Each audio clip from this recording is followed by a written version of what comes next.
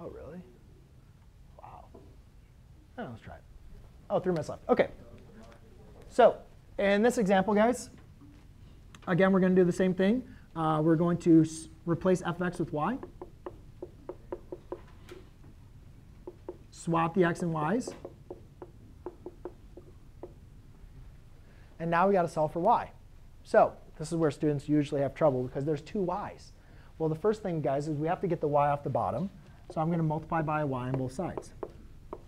So yx equals 2y plus 1.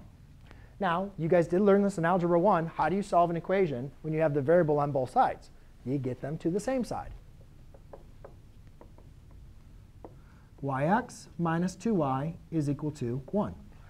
Now, what do you do? You're supposed to combine like terms. But we can't combine like terms. That's yx and that's 2y, right? But you can factor. And if you factor out a y, you're left with x minus 2 equals 1. And now you can divide by x minus 2. And you get y equals 1 over x minus 2. And therefore, you could say, therefore, f inverse of x is equal to 1 over x minus 2. I know I kind of went through that fast, but let it sink in. A couple things.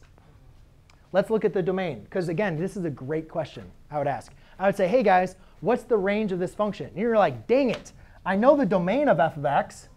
The domain of f of x is all real numbers except for 0. But I don't know what the range is. And I don't have my graphing calculator to graph it. But then I say, oh, but if I find the inverse, the domain of the inverse is the range of the function. The domain of the inverse is the range of the function. So then I find the inverse and I say, oh, I know what that is. That's all real numbers except for 2. So the range, which is the domain of my inverse, is negative infinity to 2 union 2 to infinity. No calculator needed. Wow. All right.